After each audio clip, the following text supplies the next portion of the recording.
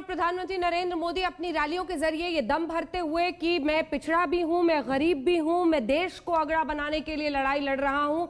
यहाँ SP, BSP वाले, गठबंधन वाले, बुआ, बबुआ, अपना सिर्फ़ पैसा बढ़ा रहे हैं। नलनी सिंह जी। मुझे लगता है, देखिए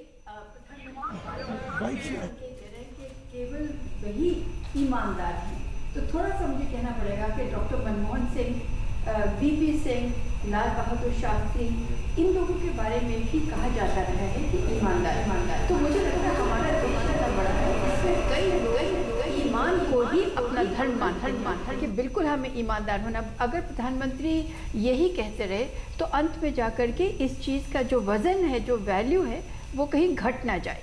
उनके शब्दों की ये कहते हुए कि मैंने पैसा नहीं बनाया तो ये तो अब कोई आपसे कोई एक्सपेक्ट नहीं करता है कि आप बनाएँगे।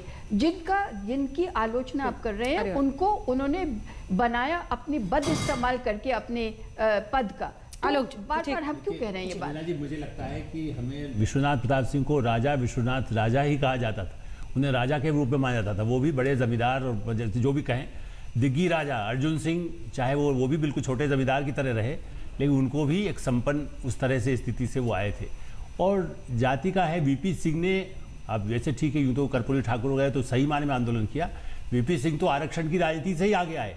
तो पिछड़ा कहलाने का मोदी जी जो कह रहे हैं, वो कोई नई बात नहीं है।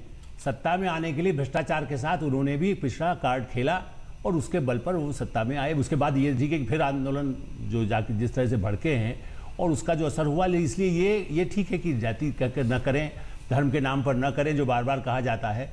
लेकिन जैसा कहे थे कि इस- इसमें सारे लोग उसी तरह से खेल जो कर रहे हैं यदि चाहे कांग्रेस करती बीजेपी करती लालू यादव की पार्टी करती है और मुलायम सिंह की पार्टी करती रही। इसलिए ये कहना कि आज ही अचानक मोदी कर रहे हैं मुझे ऐसा लगता है कि एक डिफरेंट है। बीजेपी भी वही पॉलिटिक्स करती रही है। संजय जी। नहीं मुझे लगता है कि वीपी सिंह ने अपनी राज, राजनीति में जब आए और जब वो प्रधानमंत्री बने उस वक्त उन्होंने जाति की राजनीति नहीं की। मुझे तो लगता है जाति की राजनीति जो उन्होंने करने की कोशिश की, जो मंडल कमीशन आया, उससे तो उनके, उनका एक तरह से सत्ता, उनकी सत्ता चली गई। जिस तरह से वो प्रधानमंत्री बने, जिस तरह से उन्होंने चुनाव जीता, वो तो एक दूसरा एक एक तरह से एक प्लेटफॉर्म था, वो बोफोर्स का कांड था।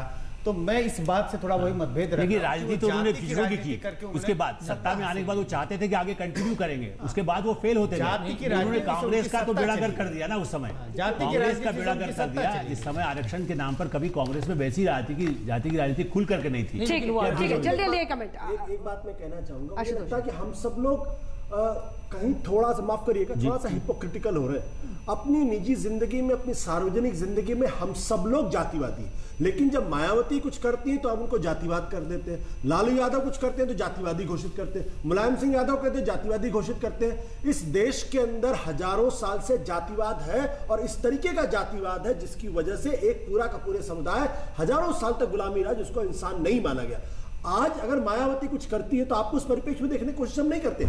मुझे लगता है कि इस देश के अंदर अगर वीपी सिंह का कोई एक कंट्रीब्यूशन है तो वीपी सिंह ने इस देश के अंदर एक, एक सोशल कॉन्शियसनेस को जगाने का काम किया है। अन्यथा एक खास तबके का शासन था।